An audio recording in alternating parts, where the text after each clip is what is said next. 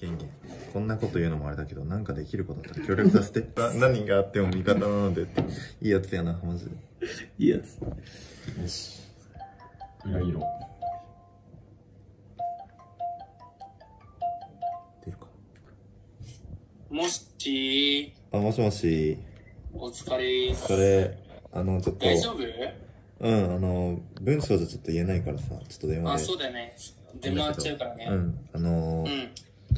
なんだっけキスがさうん。あの家になんかファンが来ちゃってうん。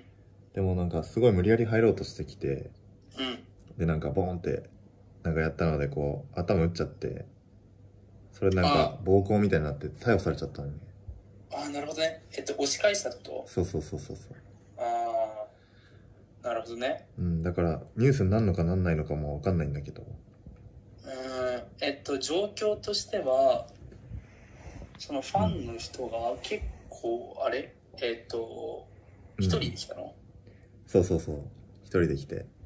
一人で来て、うん。で、結構もう無理やり入ろうとしてきたってことだよね。そうそうそうそう。で、それで、来んなよっていうので押したら倒れたってこと、そうそうそう。で、頭打っちゃってってこと、うん。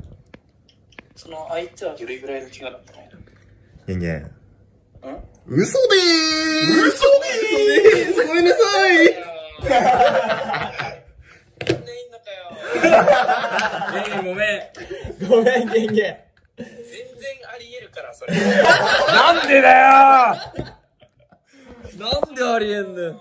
え、動画回してないよね、さすそがに。りゃ回してるよ、もちろん。回すなよ。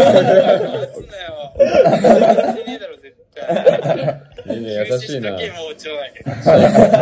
ちゃんと聞いてくれて話を。優しいな。俺ら本当になんか次味方してくるやついなくなるから。狼少年みたいな。くそー。